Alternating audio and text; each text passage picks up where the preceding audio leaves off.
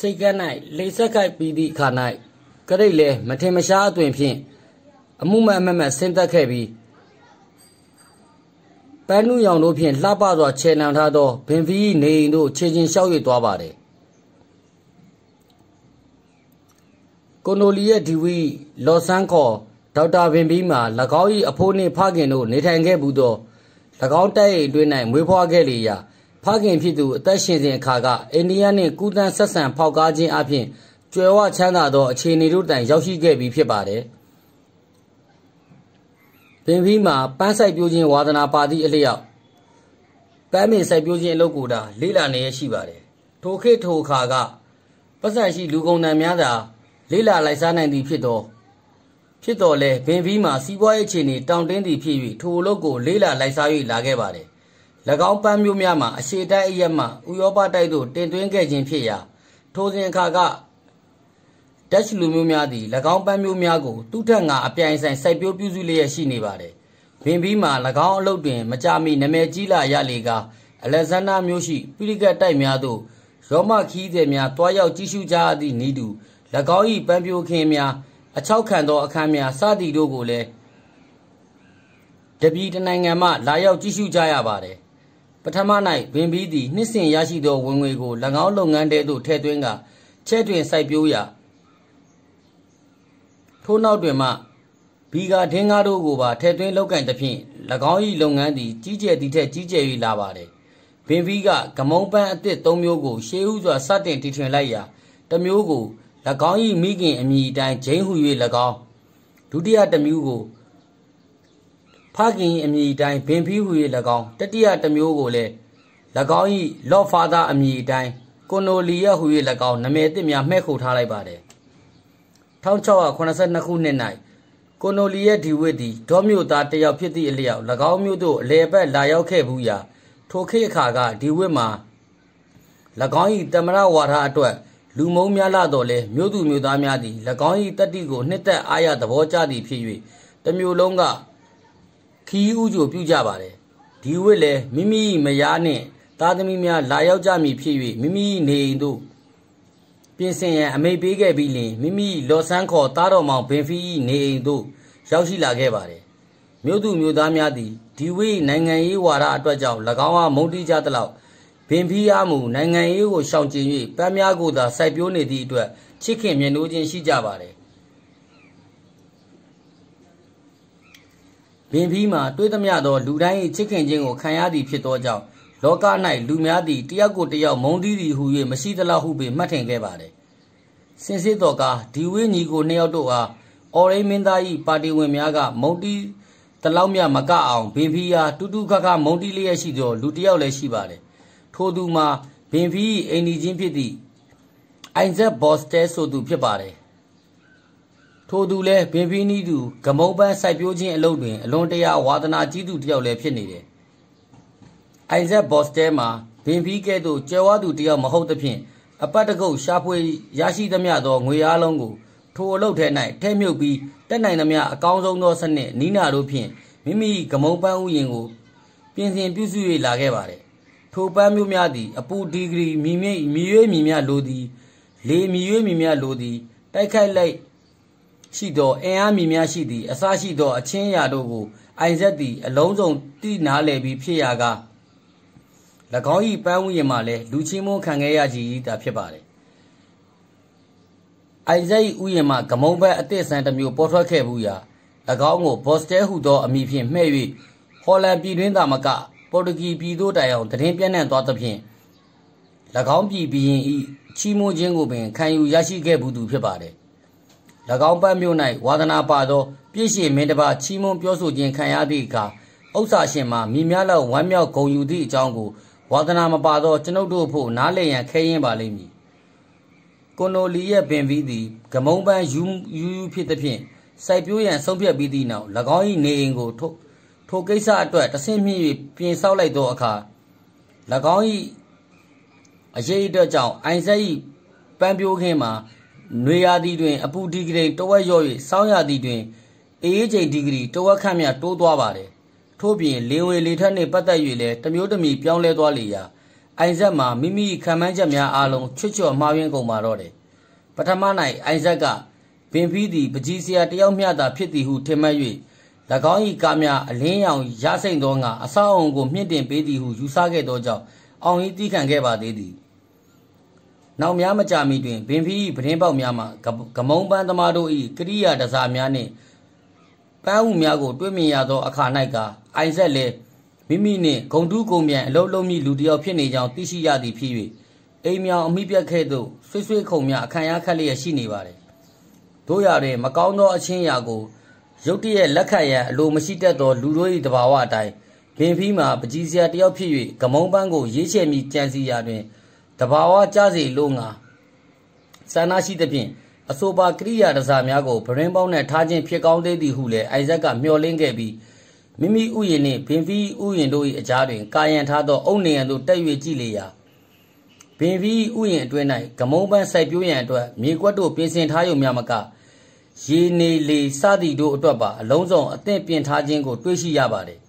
။အိုင်ဇက်လည်းနှလုံးသားကြေကွဲမတက်ရင်ထဲ၌အနာကြီးနာကြီးသွားပါတယ်။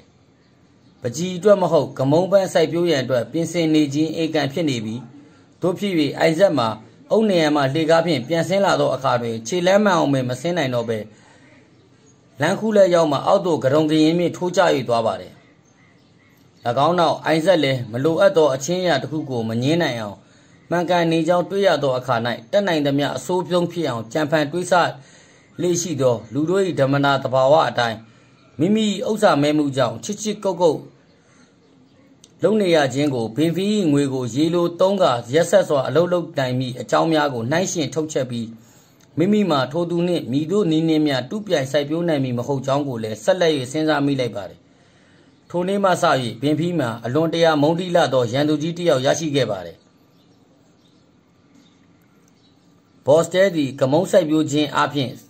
စိတ်တဒုက္ခခံစားခဲ့ရသော ကြီးစွာသောစိတ်ပင်ပန်းဆင်းရဲခြင်းနှင့်ကြုံတွေ့ခဲ့ရခြင်းဖြစ်ပါတယ်။ ဘင်ဗီသည်မိမိအားညှဉ်းပန်းနှိပ်စက်မိလူတစ်ယောက်အနေဖြင့်အတိမဲ့ပြုပြီးလင်တတတမြတတခွင့်မရဘဲနေရှိသမျှကြီးစွာသောဝေဒနာဒုက္ခကိုသာခံစားနေရပါတယ်။ဘင်ဖီမှာငကိုအပြင်စိတ်ကူးညံရှိသူတယောက်ဖြစ်လေရှိသူကကမုံပန်းစိုက်ပျိုးခြင်းအလုံး၌လေးလာလိုက်စားလိုက်သည်နှင့်တပြိုင်နက်အလွန်တရာလှပစမ်းကြဲသောပန်းများစိုက်ပျိုးနိုင်သူတယောက်ဖြစ်ဖြစ်နမေထွက်လာပြီးလေရခင်ကအတော်တန်နမေရခဲ့ပြီးတော့ဘော့စတဲမှာလည်း လာရောင်ကိုနေရောင်လွှမ်းတဲ့ကဲ့သို့တိမ်မြုပ်၍သွားပါတယ်မိမိကြော်ကြားမှုအတွက်အိမ်နီးချင်းတယောက်သည်မိမိအားရန်သူကြီးတယောက်နေဖြင့်သဘောထားနေသည့်အကြောင်းကိုဘင်ဖီမှမသိရှိခဲ့ပါပြီ။ထိုနည်းတိုင်းနာမည်ကြီးလာခဲ့ရာဘင်ဖီမှာနှစ်နှစ်မြတ်သောအချိန်အတွင်း၌မြည်သည့်ကမုံပန်းစိုက်ပျိုးသမားတယောက်မျှမကြော်ကြားခဲ့ဘူးသေးသည့်တိုင်အောင်ထင်ပေါ်ကြော်စောသောအခြေအနေသို့ရောက်ရှိ၍သွားပါတယ် လူတိုင်းသည်လည်းဘင်ဖီအကြောင်းကိုပြောဆိုချီးကျူးလျက်ရှိကြပါတယ်ဘော့စတဲမှာမူဘင်ဖီနာမည်ကြီးလေလေမအိတ်နိုင်မစားနိုင် ဖြစ်လေလေဖြစ်၍မှန်မြောင်းတလက်ကိုဝယ်ယူပြီးလင်အလွန်တရာမနာလိုလသောမျက်လုံးများဖြင့်ဘင်ဖီပန်းကင်းနှင့်၎င်း၏စိုက်ပျိုးလုပ်ကင်ပုံများကိုမိမိနေအိမ်ပရင်းပေါက်မှအချိန်ရှိသမျှချောင်းမြောင်း၍ကြည့်နေပါတော့တယ်။နောက်ဆုံး၌ဘော့စဲမှာမနာလိုမရှုစိတ်နိုင်သောဆက်ရားကြီးလာလေရက ဘင်ဖီပန်းကင်းကိုတိတ်တဆိတ်ခြေမုံပျက်စီးပြည့်ရန်စိတ်ကူးမိပါတယ်။တို့ရတွင် ထို့သောပြုလုပ်ခဲ့ကြသောမိမိကိုပင်ဆွဆွဲပွဲရှိသည့်အပြင်အကယ်၍အပြစ်ပေးခြင်းခံရမည်ဆိုပါကဂမုံပန်းသမားတို့၏လောကအလယ်၌နမဲပြတ်ရပွဲရှိသည့်အကြောင်းကိုစဉ်းစားမိသည်နှင့်၎င်း၏အကြံကိုလက်လျှော့၍ထားလိုက်ပါတယ်တို့ရတွင်ညစ်ပတ်သောသဘောထားရှိသူတို့မှပျက်စီးကြောင်း အကြံစီရာတို့ကိုရုတ်တရက်လက်မလျှော့တတ်ပဲဇွဲကောင်းကောင်းနှင့်မနာမနေအကြံထုတ်တတ်သောဓမ္မတာရှိရလေကဘော့စတဲမှလည်းနောက်ဆုံးတွင်အကြံတစ်ခုရရှိသွားပါတယ်။တညတ၌ဘော့စတဲသည်ကြောင်နှကောင်၏ခြေထောက်များကိုတလန်ခန့်မြရှိသောကျိုးတစ်ချောင်းနှင့်ချီထားပြီးဘင်ဖီပန်းကင်းပေါ်သို့ပစ်ချလိုက်လေရာကြောင်များသည်ဤမထိုမှရုန်းကန်ကြသည်တွင်၎င်းတို့၏ခြေထောက်များတွင်ခြိထားသောကျိုးသည်ဘင်ဖီအလွန်လှပဆန်းကျဲသော ဓမုံများကိုပုတ်တိုက်ချေမုံပစ်ပြီးနောက်15မိနစ်ခန့်ကြာသောအခါ၌ကြောင်နှကောင်မှကျိုးပြက်၍လွတ်ထွက်သွားပါတယ်။ဘော့စတဲမှလည်းမှောင်မိုက်သည်ဖြစ်သဖြင့်ကြောင်များ၏အပြုမှုကိုမမြင်နိုင်တော့လဲ၎င်းတို့၏ညီးတွားအော်ဟစ်သောအတန်များကိုကြားရခြင်းအပြင်ထိုမအိမ်များရုန်းကန်ကြမိအကြောင်းကိုစိတ်ကူးဖြင့်မှန်းလျက်အလွန်အကျူးအထူးဝမ်းမြောက်ဝမ်းသာဖြစ်၍နေပါတယ်။ဘော်ဆဲသည်ထိုည၌တရေးမြမအိပ်ပဲ နနက်လင်းသောအခါ၌မိမိပန်းကင်းပျက်စီးနေသည်ကိုတွေ့ရမည်ဘင်ဖီမျက်နှာကိုမြင်လိုလာသည်ဖြစ်၍မိုးလင်းဘိုးကိုသာဆူတောင်း၍နေမိပါတယ်မိုးလင်းသည်နှင့်တပြိုင်နက်ဘော်ဆဲကပန်းကင်းကိုမြင်နိုင်သောမိမိပဒင်းပေါက်မှစောင့်မျှော်လျက်ကြည့်ရှုနေရာဘင်ဖီသည်မိမိပန်းကင်းကိုနက်နက်စောစောကြည့်လေရှိသောထုံးစံအတိုင်းမြေပြင်ကိုဖွာလန်ကျဲလာသောမြေပြင်ထုံးစံအတိုင်းအိမ်မထွက်လာ၍ ပန်းကင်းသို့ရောက်လင်ရောက်ချင်းဘုံကြထားသောမြေပြင်ကဲ့သို့ဖွာလန်ကျဲလျက်ရှိသောပန်းကင်းနှင့်ကျွေမော့ပျက်စီးလျက်ရှိသောပန်းများကိုတွေ့မြင်ရသည်နှင့်မျက်နာတွင်သွေးမရှိသကဲ့သို့ဖြူဘက်ဖြူရောဖြစ်၍သွားပါသည်ရန်သူ၏ဒုက္ခကိုမြင်ရခြင်းသည်ဒုက္ခကြီးတစ်ခုဖြစ်သောလူယုံမာတို့၏ဓမ္မတာအတိုင်းဘော့စတဲသည်ဘင်ဖီလက်လိုက်လဲလဲဆင်းရဲပင်ပန်းအောင်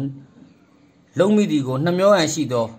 ဘင်ဖီမျက်နာကိုမြင်လိုက်ရသောအခါတွင် မိမိခံခဲ့ရသမျှသောဆင်းရဲဒုက္ခများသည်ပြေပြောက်သွားတဲ့ကဲ့သို့ထင်မဲ့လိုက်မိပါれတို့ရာတွင်သူတော်ကောင်းကိုနှက်ဆောင်သည်ဆိုသောစကားသည်ဤနေရာ၌မှန်ကြပြီးအเจ้าမာက၎င်းပန်းငင်းတစ်ခုလုံးတွင်ဘင်ဖီကအထူးသဖြင့်အမျက်တနိုးတန်မိုးထားသည့်ကမုံပင်လေးပင်တို့သည်ပျက်စီးကြေမွားသည့်အထဲသို့မပါဘဲထိုတခင်းလုံးတွင် ထိုလေးပင်မှပန်းဘူးကလေးတို့သည်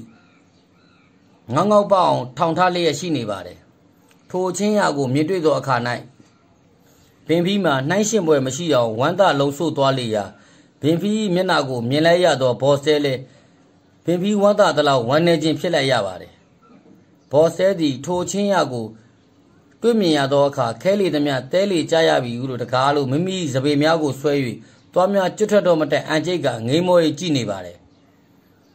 ဘင်ဖီးသည်ထိုချင်းရာကိုထောင်လန်းစုပ်စမ်းရာတွင်ယမန်နေ့ညက ကြောင်များမိပြန်ကြားရသည်ဟု ပြောကြသည့်အပြင်၎င်းတို့ကုတ်ချစ်ထားသောခြေရာများကိုတွေ့မြင်ရသည်နှင့်၎င်းတို့ပင်ဖြစ်မိဟုတွေးဆပြီးလေနောက်ညများ၌ထိုကဲ့သို့မဖြစ်စေခြင်းကအစီကံတယောက်အားပန်းခင်းအနည်းရှိတဲတလုံးတွင်အိတ်ဆက်စေပါတော့တယ်ထိုအကြောင်းကိုသိရှိရသောဘော့စတဲကဖျက်ဆီးလိုသောအကြံစီကိုလက်မလျှော့သေးပဲနေသေးသဖြခြုံတဲကဟူသောစကားကဲ့သို့ချက်ကောင်းကိုချောင်းလျက်ရှိနေပြန်ပါတယ် ထိုအချိန်ခါကဟော်လန်ပြည်ဟာလန်မြို့ဂမုံပန်းစိုက်ပျိုးရေးအသင်းကြီးကဂမုံပန်းအနက်ရောင်ဖြစ်အောင်စိုက်ပျိုးနိုင်သူတယောက်အားဂီဂါဒင်းကစုငွေတသိန်းပေးမိအကြောင်းနှင့်တခြားစုများချီးမြှင့်မည်ဟုကြေညာလိုက်ရာ၎င်းပန်းမျိုးများမှာအနက်ပိန်းတက်တက်ကိုမဆိုထားပြီးအနက်ရောင်နှင့်နီးကပ်သည့်အညိုရောင်ကိုပင်အပြောက်အကွက်အစွန်းထင်းမပါစေဘဲစိုက်ပျိုးနိုင်သူမရှိသေးသောကြောင့်တသိန်းမကပဲတသန်းပေးတော်လဲ မိသူများရရှိနိုင်မည်မရှိကြောင်းနှင့်ထင်မြင်ချက်များပေးကြကုန်ပါれတို့ရတွင်ကမုံသမားတို့၏လောကကြီးတွင်မူကားတုံလုံးခြောက်ခြားသွားခဲ့သည်ထိုကိစ္စမှာမဖြစ်နိုင်ဟု၍ယူဆကြတော်လဲဝါသနာအုံးမှန်သမျှသည်ထိုအကြောင်းကိုသာပြောနေကြ၍စိတ်ကူးညံအမျိုးမျိုးထုတ်လျက်ရှိနေပါတယ်ဘင်ဖီကလည်းဖော်ပြခဲ့သည့်အတိုင်းစိတ်ကူးညံနှင့်ပြည့်စုံသူတစ်ယောက်ဖြစ်သူဖြစ်လေရာ၎င်းကြော်ညာသည့်အကြောင်းကိုကြားရသောအခါ၌ လိုအပ်သောအနှက်ရောင်ကိုဖြစ်အောင်စိုက်ပျိုးမည်ဟုတန်ထိတ်တန်ချလိုက်ပြီးအမျိုးမျိုးသောဤတို့ဖြင့်စမ်းသက်စိုက်ပျိုးသည်ဖြစ်၍အနီရောင်မှအညိုဖြော့ရောင်၎င်းမှတဖန်အညိုညင့်ရောင်စသည်ဖြင့်တဆင်မီတဆင်ရင်းသည်ထက်ရင်းအောင်စမ်းသက်စိုက်ပျိုးခဲ့သဖြင့်တစ်ဧသည်အယောင်ထိအထမြောက်အောင်မြင်ခဲ့ပါတယ်ဘော်ဆဲကလည်း၎င်းကြော်ညာအရာစမ်းသက်စိုက်ပျိုးရေးဘင်ဖီပန်းခင်းကိုသာချောင်းမြောင်းကြည့်ရှုလာခဲ့ရာမိမိမှာအညိုရောင်အဖျော့ကိုအထမြောက်သောအချိန်တွင် ဘင်ဖီးမှာတည့်ရသည့်ရောင်အထိအထားမြောက်သွားခြင်းကိုတွေ့ရသဖြင့်စိတ်ပြက်အားလျော့ပြီးနောက်ဆုံးတွင်မိမိအလုပ်ကိုဂီးမဆိုင်နိုင်တော့ပဲဘင်ဖီးပန်းခင်းကိုချောင်းကြီးအအားဖြင့်သာအချိန်ကုန်လွန်၍သွားပါတယ်ဘင်ဖီးကလည်းစိုက်ပျိုးခြင်းအလုပ်ကိုဥယျာဉ်အတွင်း၌သာမဟုတ်ပဲအိတ်ခမ်းအတွင်း၌လည်းဆောင်ရွက်လျက်ရှိရာဘော့စတဲသည်၎င်း၏အခန်းတွင်သို့မှန်ပြောင်းဖြင့်မြင်နိုင်သည်ဖြစ်၍မျိုးဥများကိုဆေးရည်စိန်ခြင်းလေတလက်ခံပေးခြင်း ပြိုးခင်းမြေကြီးအတွက်မြေဩဇာပြင်ဆင်ခြင်းစသောအလုံးများကိုထင်ရှားစွာတွေ့မြင်သည့်အလျောက်ဘင်ဖီလောက်ကန်သမျှကိုအစင်မပြတ်စောင့်ကြည့်လေ့လာ၍နေပါတယ်ရင်းကဲ့သို့တယောက်၏အလုပ်ကိုတယောက်ကမနေမနာချောင်းမြောက်ကြည့်ရှုလျက်ရှိသောအချိန်အခါတွင်ကွန်နီလီယက်ဒီဝစ်သည်မိမိနေရင်းဌာနဖြစ်သောဒေါ်မျိုးသို့အလဲပတ်ဆက်ရောက်လာခြင်းဖြစ်ပါတယ်